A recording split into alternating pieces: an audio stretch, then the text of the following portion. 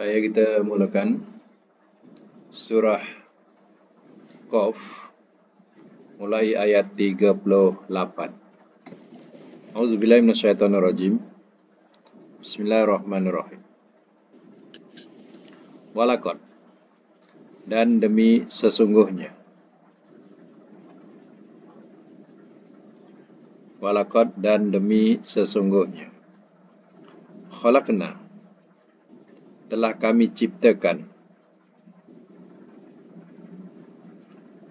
As-samawati akan langit-langit.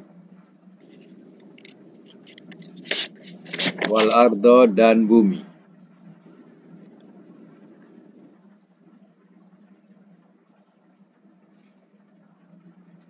Wama dan apa yang bainahuma di antara keduanya.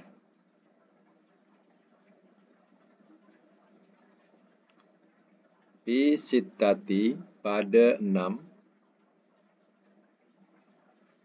ayam hari.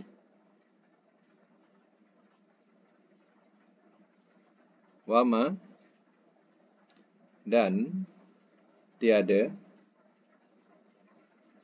masana telah menyentuh ia akan kami.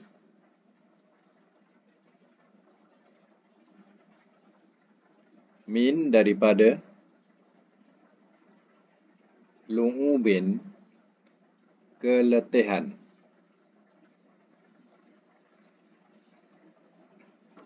Baik, sama semula. Walakad khalaqna samawati wal ardu wa ma bainahuma fi sittati ayyam. Dan demi sungguhnya telah kami ciptakan akan langit-langit dan bumi dan apa yang di antara keduanya pada enam hari. Di antara kedua langit dan bumi, bahawa kita ketahui kalau di langit kita boleh pandang adanya bulan, matahari, segala bintang, awan, hujan dan yang di bumi apa yang tumbuh tum, yang tumbuh di bumi termasuk adanya ya, gunung ganang, lautan, sungai. Jadi, ya, itu termasuk bainahuma di antara kedua langit dan bumi. Allah ciptakan keseluruhannya fi sittati ayam pada enam hari. Ya, mikot tafsir diawali dengan hari Ahad dan diakhiri pada hari Jumaat. Sebab bahasa Arab mana Ahad itu satu. Isnan dua. Mana hari dua. Salasa hari tiga. Kita sebut selasa. Arbi'ah. Hari empat. Kita sebut Rabu.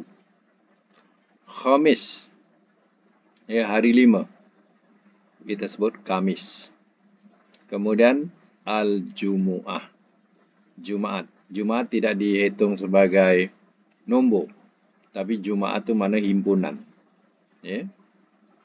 Kemudian Sabtu. Sabtu itu daripada Sittah. Yaumus Sittah Yaumus Sabt. Mana hari enam. Ya, hari enam.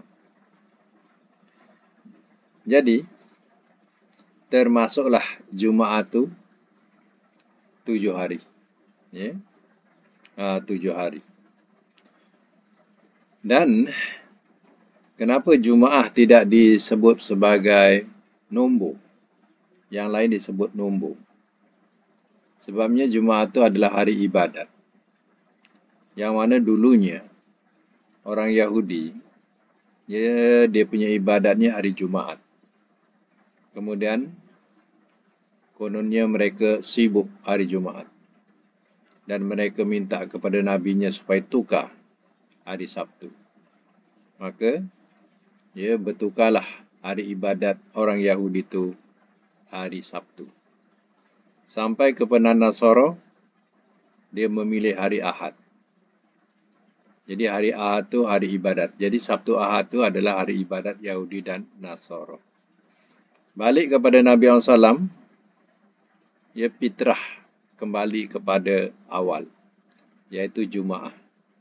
Jumaat itulah yang awal hari ibadat. Maka sampai kepada Nabi, berbalik semula kepada Yaumul Jumaat, iaitu hari Jumaat. Sehingga ada surah dalam Quran disebut suratul Jumu'ah. Surah Jumaat. Ya. ya. Jadi enam hari ini Allah ciptakan langit dan bumi dan segala di antara keduanya itu pada enam hari mengikut yang kita uh, faham iaitu di awal dengan hari Ahad dan diakhiri dengan hari Jumaat. Sebab itu orang Yahudi dia mengatakan hari Sabtu Tuhan cuti. Tuhan rehat. Ya pandai-pandai dia menuduh Tuhan itu rehat, Tuhan itu cuti. Sebab itu dia memilih uh, hari ibadat dia hari Sabtu. Kononnya Tuhan hari itu hari cuti. Ya. Uh, sedangkan Allah mengatur langit dan bumi tidak berhenti dikatakan Allah itu cuti. Itu hanya cakap orang Yahudi saja. Ya.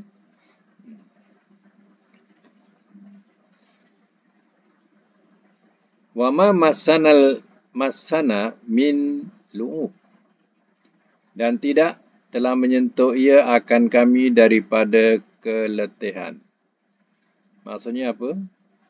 Ya, maksudnya Allah tidak ada sifat letih. Dia menciptakan langit dan bumi. Ia tidak ada sifat keletihan. Tidak menyentuh kepada Allah sifat keletihan itu. Ya, jangan kita. Ya, buat kerja sedikit dah letih. Berjalan jauh sedikit pun dah letih. Ya. Inilah kelemahan kita, manusia. Ya, sekuat macam mana pun, ia akan menemui keletihan. Ah, ini ya sifat manusia. Allah tidak demikian. Ya.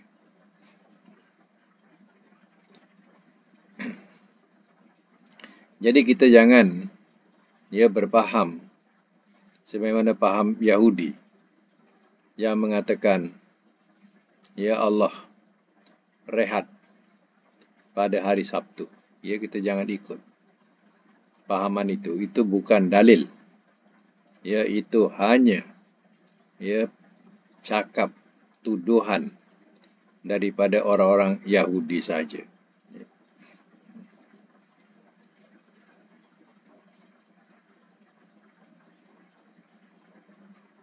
Baik, kita sama lagi ya ayat seterusnya iaitu ayat yang ke-39 fasbir. Maka bersabarlah oleh engkau maka bersabarlah oleh engkau. Ma alama atas apa yang yakulun. Mereka katakan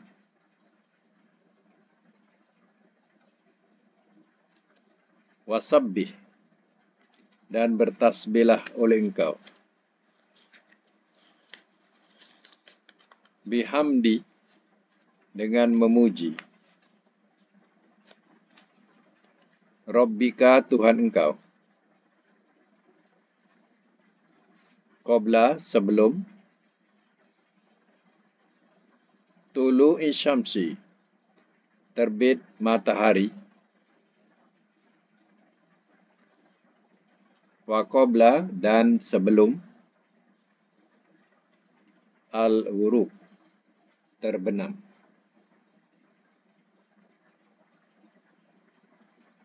Sambung wa minal lail dan sebahagian malam.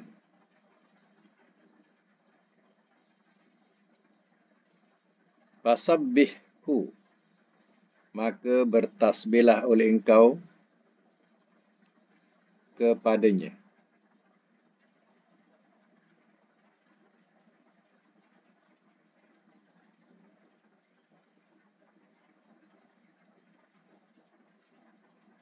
Wadbar dan di belakang-belakang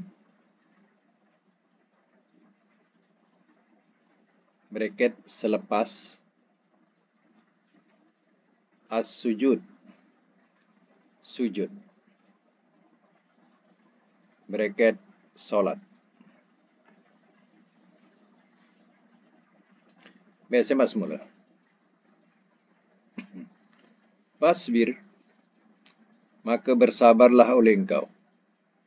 Engkau ni balik kepada Nabi lah. Bersabarlah oleh engkau ya Muhammad macam itulah ala mayakulun atas apa yang mereka katakan. Mana mereka orang-orang Yahudi mengatakan dan juga selain mereka yang mana mereka mendustakan kata-kata Nabi. Wasabbih bihamdi rabbika dan bertasbihlah oleh engkau dengan memuji Tuhan engkau.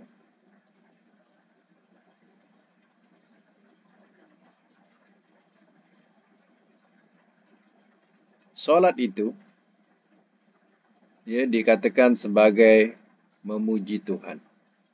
Mana melakukan solat itu adalah termasuk dalam ya memuji Tuhan iaitu qoblat tulu isyamsi sebelum terbit matahari. Ini dikatakan solat subuh. Ya. Orang yang melakukan solat adalah orang yang, melaku, yang melakukan tasbih. Ha, tasbih ni maknanya mensucikan. Jadi yang dimaksudkan mensucikan itu, kita mensucikan Allah tanpa menganggap Allah itu ada sekutu, ada anak, ya. Itulah kesucian Allah. Tak ada sekutu, tak ada anak. Ya. Jadi kita melakukan solat lillah kerana Allah. Itulah tanda kita ya bertasbih mensucikan Allah Taala. Pertama ialah solat subuh. Qabla tulu isyamsi sebelum terbitnya matahari. Ya. Itu mana solat subuh. Wa qabla al-ghurub dan sebelum terbenam. Itu solat zuhur dan asar. Ya. Nah, sebelum terbenam matahari, di situ ada dua solat. Iaitu solat zuhur dan solat asar. Wa minal lail dan sebagian malam sebagian malam maknanya solat isyak. Ya. Sebab solat isyak ni sebenarnya kalau ikutkan hadis Muslim sampai pertengahan malam. Jadi pertengahan malam ni sebaiknya ya sampai pukul 12 12.30 ya. Itu pertengahan malam.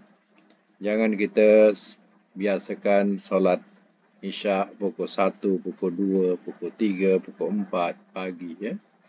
Ha, itu dah dikatakan solatul lail. Solat malam. Jadi sebahagian malam yang dimasukkan ialah ya, solat isyak. Ya, solat isyak. Dan saya kata tadi, mengikut hadis sahih muslim, ya, solat isyak itu sampai pertengahan malam. Ya. Hmm. Itu yang dikatakan sebahagian malam.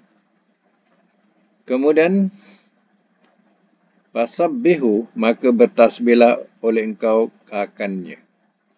Wadbar sujud dan di belakang-belakang atau selepas-selepas sujud.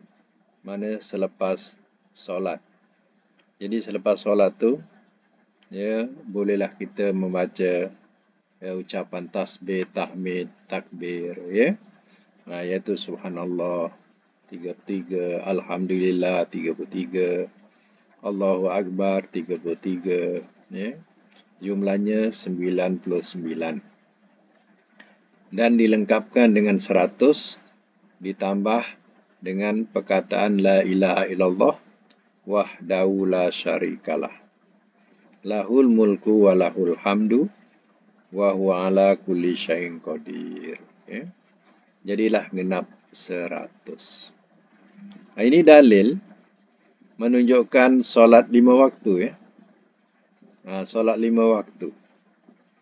Tapi ya ada yang berpaham ya solatnya hanya tiga waktu saja. Contohnya berita-berita atau cerita orang yang pergi Iran ya, pergi Iran. Orang Iran dia solat tiga waktu saja. Ya.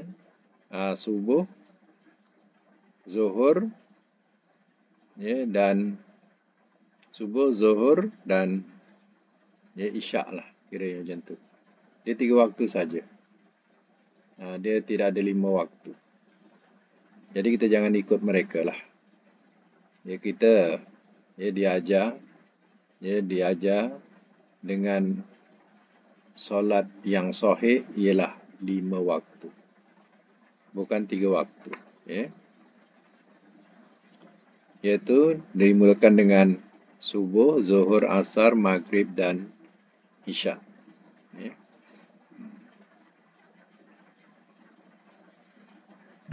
Ustaz, soalan. Sebahagian malam, isyak tu maghrib masuk dalam mana? Maghrib dan isyak tu. Maghrib dan isyak tu termasuk sebahagian, sebahagian malam. malam. Hmm. Oh, okey, okey. Hmm. Jadi masuklah dia uh, lima waktu. Okay. Hmm.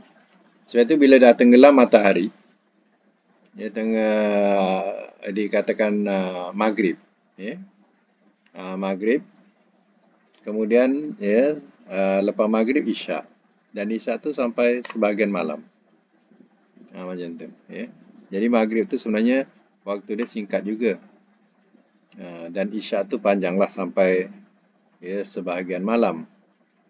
Tetapi kalau seandainya ialah sesekali terlewat ya selagi belum subuh tu isyak lah. Ha, macam tu lah. Selagi belum subuh tu isyak lah. Ya.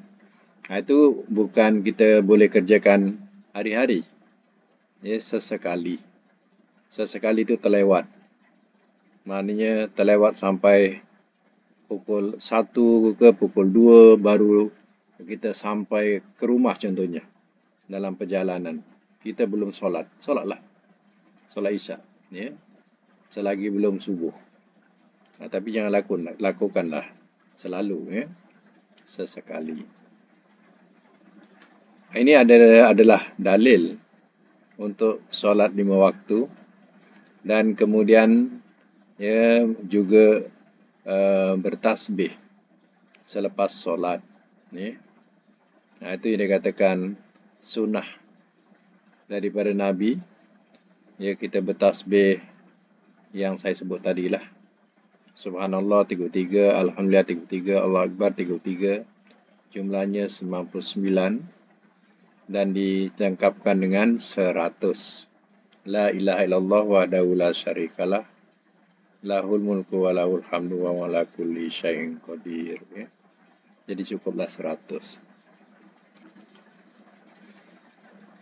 Iya, tasbih ni, yang kita ucapkan tasbih tahmid takbir ni, seratus di lisan kata Nabi.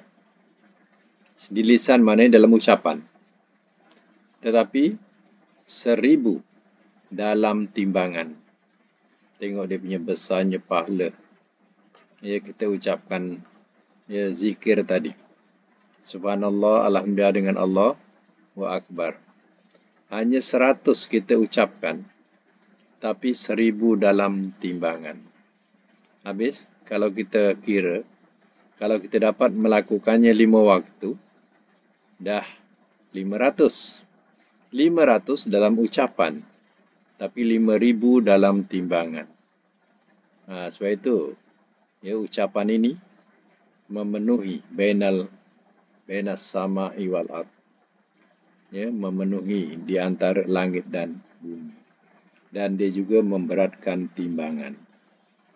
Besok timbangan kita berat. Ya, yang memberatkan ialah ucapan tasbih, tahmid dan takbir kita ya. Nah, itu akan memberatkan timbangan kita. tak sedar satu hari kita telah ya melakukan 5000 ya dalam timbangan. Sedangkan ucapan tadi hanya 500 saja. Ya. Hmm. Baik ya, boleh uh, letak uh, nota kat situ. Dalil solat lima waktu. Pada ayat apa? Iaitu ayat 39 dan ayat 40. Itu sebagai dalil ya. Adanya solat lima waktu. Baik, sama lagi ayat seterusnya. Wastami. Dan dengarkanlah oleh engkau.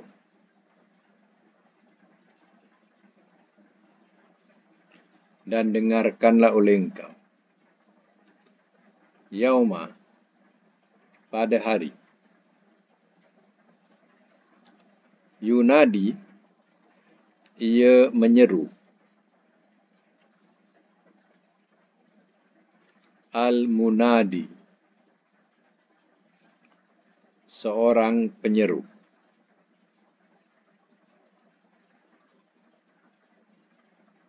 min daripada makanin tempat korib yang dekat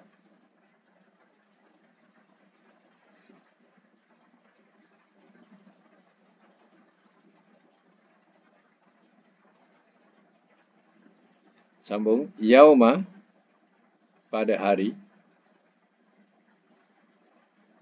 Yastami'una. Mereka mendengar. As-soyhata. Tempikan.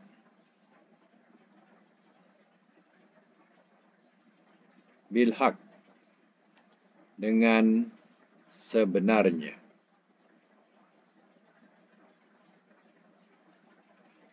Zalika itu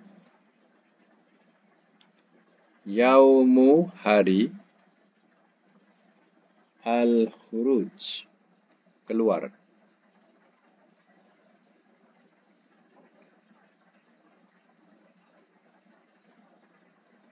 Baik, semak semula. Wastami. Yauma yunadil munadi. Dan dengarkanlah oleh engkau. Pada hari, ia menyeru oleh seorang penyeru. Maknanya yang menyeru oleh seorang penyeru di sini ialah malaikat. Israfil. Ya, malaikat Israfil yang menyeru. Min makanin korib daripada tempat yang hampir daripada langit ya, daripada langit. Seruan itu.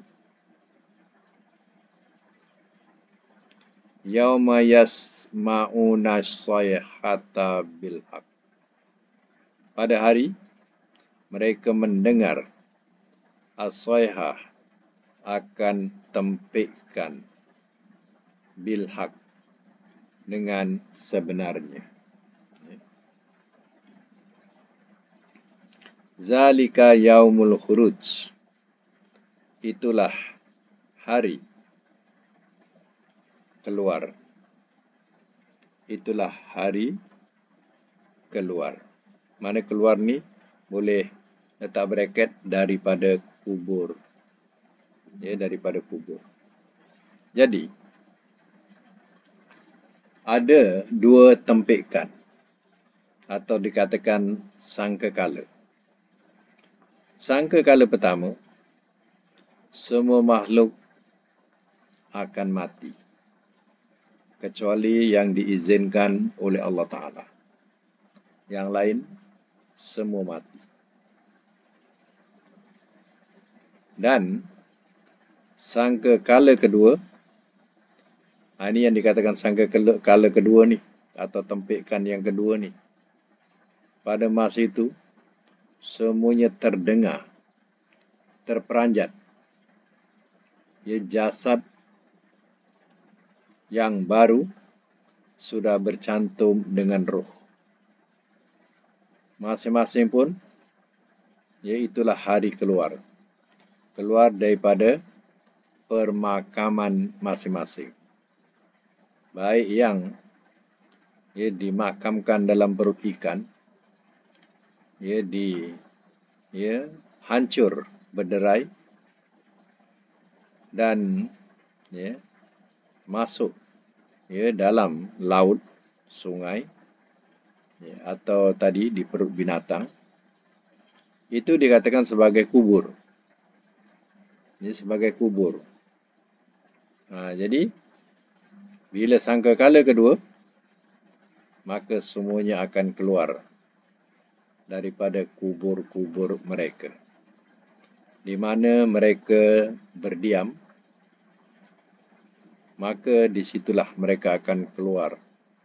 Satu dunia, semua keluar. Keluar daripada kubur untuk menuju ke mahsyar. Ha, jadi kematian itu, kita sudah berkubur. Jadi roh kita tidak ada kat situ lagi. Roh kita diangkat ke langit dah ya, jasad akan hancur mati. Ya. Dan kemudian ya, kita dihidupkan semula dengan jasad yang baru. Bukan jasad yang lama. Jasad yang baru, roh yang lama. Nah, roh tak ada baru ya, roh lama. Sebab roh ni tak mati. Yang mati ialah jasad. Ya. Jadi bagaimana orang yang mati sekarang? Orang yang mati sekarang ni maknanya ya dia berkeadaan tidur, mimpi. Roh tadi dibawa ke langit. Jadi keadaannya lena mimpi. Tidur lena bermimpi. Ya, macam itulah. Tidur lena bermimpi. Maka mimpi itu berterusan. Sama ada mimpi baik atau mimpi buruk. Kalau mimpi baik namanya ya, nikmat kubur. Kalau mimpi buruk namanya azab kubur. Itu bezanya. Jadi dia sentiasa bermimpi. Ya, pergi ya, menuju kepada tempat yang indah atau menuju tempat yang paling ya, celaka. Itu nama azab kubur, eh, nikmat kubur dan azab kubur punya ya syok tidur dengan mimpi-mimpi tiba-tiba diseru satu jeritan yang meranjatkan kita daripada mimpi kita. Pada masa kita pun bangun dengan jasad yang baru, roh yang lama, zalika yaumul khuruj itulah hari keluar. Mana keluar dari kubur untuk menuju ke mahsyar Allah. Ya, mahsyar ni tempat berhimpun untuk diadili. Ha, jadi di situlah kita baca dalam surah Fatihah Yaumiddin. Hari pembalasan. Ha, itulah hari pengadilan Allah Ta'ala lepas ya kita diadili maka dipisahkan kita. Sama ada setelah kita diadili tadi kita ni ahli syurga atau ahli neraka. Kalau ahli syurga dikumpulkan dalam kalangan ahli syurga kalau ahli neraka dikumpulkan ya bersama sama ahli neraka. Nah, setelah habis ya telah habis timbang amal maka ahli syurga dihalau untuk menuju ke syurga. Kumpulan ahli neraka juga dihalau untuk menuju ke neraka. Begitulah keputusan. Di situ baru adanya surga benar neraka benar. Itu balasan yang sebenar setelah kita di hisap. Ya, jadi sekarang ni kalau di alam kubur, itu hanya bayangan. Belum sebenar. Tapi bayangan itu pun sudah menyakitkan dan ya, menyenangkan. Ya, sebab kalau mimpi baik, seolah-olah dia hidup dalam surga. Kalau mimpi tak baik, seolah-olah dia dalam neraka. Ha, tu. Ya, itulah azab kubur namanya. Tapi belum masuk neraka betul, baru mimpi. Belum masuk surga betul, tapi hanya mimpi. Ya. Bila masuknya? Setelah dihisap. Nah, barulah keputusannya. Ya. Hanya senang kita faham macam tu senang.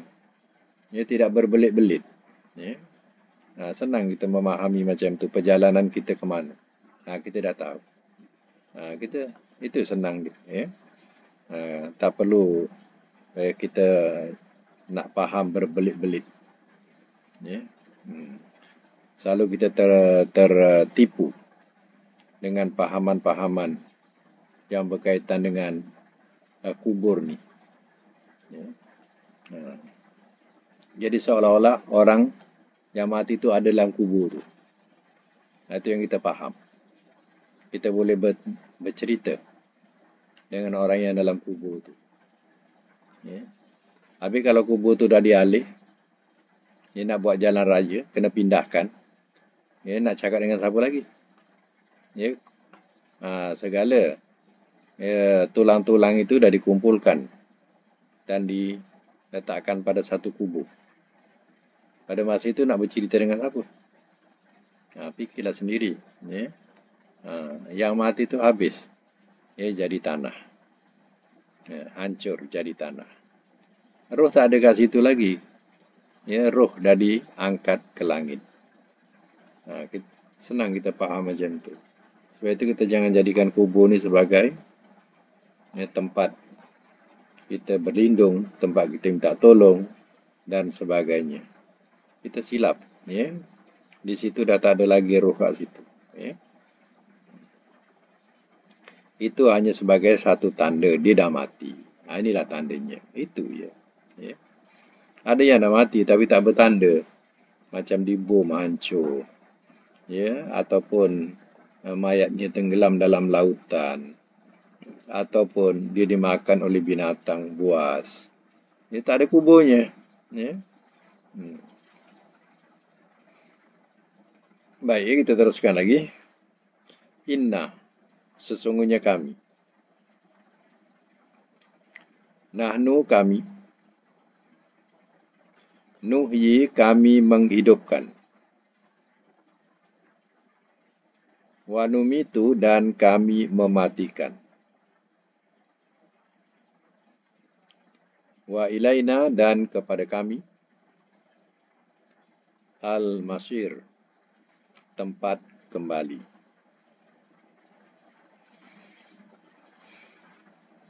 baik. Allah memberitahu inna sesungguhnya kami. Kami ini mana Allah. Ya. Domir itu adalah domir Allah. Jadi sesungguhnya kami kata Allah kami kami menghidupkan. Wa numit dan kami mematikan. Wa ilainal masir dan kepada kami tempat kembali. Kita asalnya dikatakan tak ada kemudian Allah hidupkan kita lahirlah ke dunia hiduplah kita dan dekat dunia ini sampai satu ketikanya mau ataupun tak mau tetap kita akan terima yaitu kematian. Ha, itulah mati. Dan kepadanya dan kepada kami al-masir tempat kembali kata Allah Taala. Jadi balik kepada Allah. Jadi kematian itu sekali. Ya kita hidup ke dunia kemudian kita mati. Itu sekali. Bila dihidupkan balik Ha, itu yang ayat tadi. Ni, ayat yang tadi itu. Ya, bila sampai sangka kala yang kedua, pada masa itu kita dihidupkan kembali. Hidup itulah yang abadi. Yang tak ada ujung noktah dia tak ada. Ya, itu yang hidup abadi, kekal. Jadi kadang kita memahamkan orang yang dalam kubur tadi, ya, ada dihidupkan. Kemudian disoal oleh malaikat. Ya, adakah betul ya soalan malaikat itu? Ya. Ah itu betul. Tapi yang disoal itu bukan jasad. Yang disoal itu roh kita. Ah disoal. Itu memang benar apa yang dia sebut dalam hadis. Soalan itu memang benar. Jadi bukan jasad kita. Jadi kita faham seolah-olah jasad itu dibangunkan dan disoal. Kemudian mati lagi. Jadi berapa kali mati? Berapa kali hidup? Sedangkan dalam Quran hanya sekali mati. Dua kali hidup. Hidup di dunia sekali, kemudian dihidupkan sekali bila datangnya seruan sang kekala atau teriakan daripada malaikat Israfil. Masih itulah terjaga semua. Ha, kita kena faham macam tu senang. Ya. Jadi, terkadang ada juga yang faham. Ya. Ha, jangan balik cepat-cepat. Ya temankan si mati ni. Ya, dia sekarang ni ya. Uh, apa? Maknanya kalau kita temankan tu lewatlah di soal. Malaikat tu lewatlah soal, tunggu kita balik dulu. Ya. Dah balik baru di soal. tak ada pun. Ya, tak ada macam tu pahamannya. Ya. Uh, kita tunggu pun sebulan kat situ pun ya roh tetap akan disoal. Sebab roh soalan itu nak menempatkan kita. Sama ada kita boleh duduk atas langit ataupun kita duduk di awang-awang. Kalau tak lulus soalan itu, roh kita tak boleh masuk dalam langit. Artinya orang yang masuk dalam langit itu artinya orang-orang yang berjaya. Roh-roh ya, roh-roh yang masuk dalam langit itu, itu roh-roh yang berjaya daripada soalan. Yang tak berjaya semuanya terawang-awang. Tak boleh masuk pintu langit. Ya. Nah, itu kena faham tu. Baik, kita teruskan lagi. Yauma pada hari.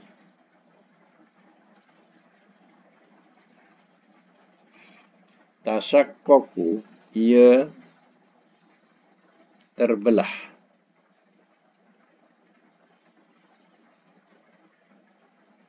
al-ardu oleh bumi.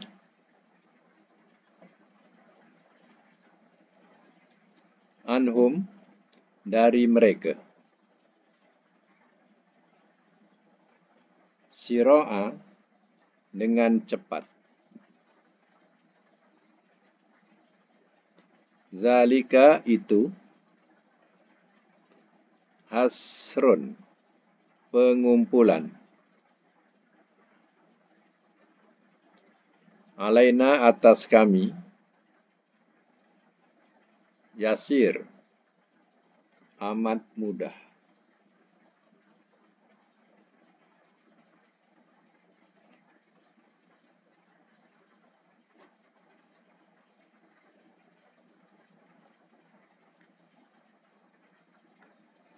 Baik.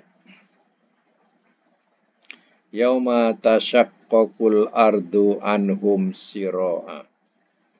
Pada hari, ia terbelah oleh bumi dari mereka dengan segera. Maksudnya, bumi itu ia terbelah dan orang-orang keluar daripada ia bumi untuk cepat-cepat menuju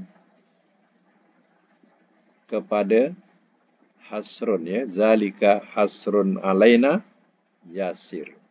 Itu pengumpulan atas kami amat mudah. Artinya ya bumi terbelah.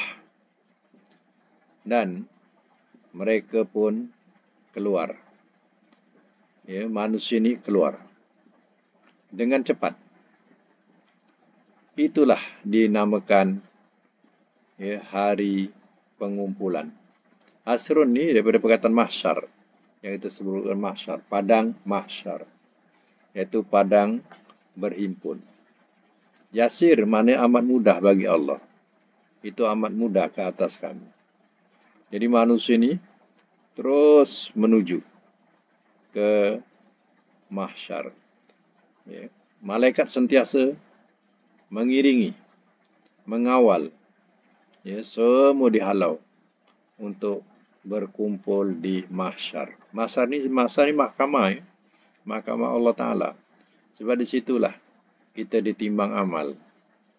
Ya, sama ada kita boleh lepas ataupun tak lepas. Ya, itulah mahsyar. Ya. Terhimpunnya manusia. Manusia bukan umat Nabi saja daripada zaman Nabi Adam dulu sampai kepada umat Muhammad. Berapa jumlahnya? Ya, sudah tentulah lautan kita pandang manusia. Penuh mahsyar itu. Ya, dengan lautan manusia. Sama lagi, nahnu, kami, a'lamu lebih mengetahui. Bima dengan apa yang yakulun. Mereka katakan.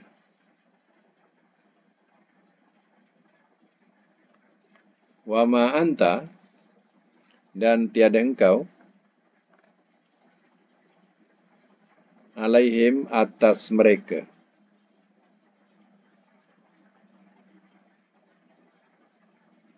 dan tiada engkau atas mereka. Bijabbarin. Dengan memaksa.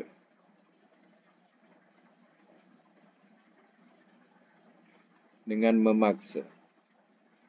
Fazakir maka ingatkanlah oleh engkau. Bil Quran dengan Al-Quran. Man akan orang yang Yahofu ia takut. Wahidi akan ancamanku.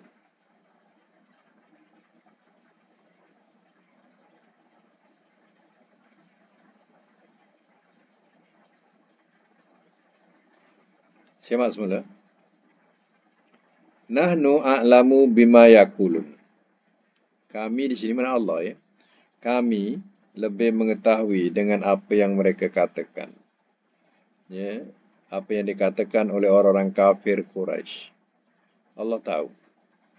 Mereka mengatakan lasta mursalan. Wahai Muhammad, engkau ni bukan rasul. Allah tahu apa yang dikatakan oleh ya, orang kafir Quraisy ini. Wa ma anta alaihim bijabbar dan tiada engkau atas mereka dengan memaksa. Maknanya bukan tugas Nabi untuk memaksa mereka beriman. Tugas Nabi hanya tabligh iaitu menyampaikan. Ia bukan memaksa. Itu dikatakan dalam Quran la ikraha fid din. Tidak ada paksaan dalam agama kita tidak boleh paksa. Tapi kita boleh menerangkan ya Al-Quran. Fazakir, maka ingatkanlah oleh engkau bil Quran dengan Al-Quran. Jadi ingatkan mereka dengan Al-Quran. Man yahofu wa'id akan orang yang ia takut akan ancamanku. Maknanya, ingatkanlah dengan Al-Quran kepada orang yang takut dengan ancaman Allah Ta'ala. Iaitu ancaman Allah ialah mereka yang kufur dengan balasan neraka yang amat dahsyat azab. Ya, mereka yang takut sudah tentulah daripada kalangan orang-orang yang beriman. Jadi kalau ikutkan ayat ini, Nabi berdakwah kepada orang Quraisy. Ya Nabi bacakan Al-Quran kepada mereka. Dan mereka juga memahami apa yang dibacakan oleh Nabi. Jadi, ya Al-Quran ini sebenarnya bukan untuk orang Islam. Al-Quran ini untuk seluruh manusia. Sebab itu kalau nak ikut-ikutkan ya kehendak Al-Quran ini, biar semua manusia ini boleh menerima Al-Quran ya, dengan terjemahan-terjemahan masing-masing, masing-masing bahasa. Maka ya, orang-orang yang bukan Islam pun mereka boleh memiliki Al-Quran dengan adanya terjemahannya. Jadi mereka juga ya boleh membaca memahami makna daripada ayat-ayat itu. Jadi sekurang-kurangnya ya sudah sampai peringatan Quran kepada mereka. Masalah nak beriman atau tidak itu bukan urusan kita. Kalau hati dia terbuka untuk Islam, Allah akan pimpin. Tapi kalau hatinya memang keras, mencari kesalahan baca Quran tapi nak mencari kesalahannya, ya, nampaknya dia tidak akan nampak ya, jalan petunjuk. Melainkan yang dia nampak yaitu kedengkian. Ya. Jadi ke belakangan ini, ya ada satu program yang dikatakan ya kita disebut sebagai ya AI. Ya AI. Tapi ya ia nampaknya AI ini adalah satu robot ya, robot yang boleh menjawab segala persoalan dan juga boleh berbahasa dengan ya berbagai bahasa di dunia. Ya, kalau kita ya nak minta terjemahkan dia daripada ya, satu bahasa ke satu bahasa, dia akan terjemahkan. Sampai kadang ya kalau kita nak terjemahkan Al-Quran, kita sebut apa makna ayat ini. Ya, dia dia akan ya, sebutkan ayat itu, apa makna ayat itu dan daripada surah apa, ayat berapa. Jadi ya hal ini mengkagumkan. Ya mengkagumkan pencipta kita tak tahulah penciptanya ya tapi ya kebaikan dia pula dia memenangkan. Memenangkan Islam. Dalam ya soalan-soalan daripada orang yang bukan Islam ya tentang Al-Quran dia mengatakan memang Quran ini adalah kitab yang suci yang tidak ada tandingannya. Dia memenangkan Al-Quran. Jadi kemungkinan juga ya dengan ya uh, teknologi yang dikatakan AI ini ya kemungkinan ya akan berlaku orang-orang yang bukan Islam ramai akan masuk Islam. Kerana apa? Ya, robot ini dia tidak memenangkan pun tentang Taurat ataupun Injil dia memenangkan Al-Quran. Ya. Itu pelik dia. Memenangkan Al-Quran memang dia boleh menjawab segala persoalan apa yang diajukan. Kalau kita suruh membahasakan bahasa ya, Terengganu pun dia boleh buat, boleh buat logat Terengganu. Kalau Kelantan pun dia boleh buat logat Kelantan. itu kelakar dia tu. Ya. Nah, ya. Nah.